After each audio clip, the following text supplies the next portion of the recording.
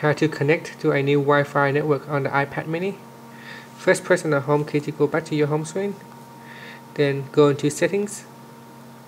In settings on the right hand side panel, make sure that you select Wi-Fi option. Then just wait for the iPad mini to scan for the available Wi-Fi network.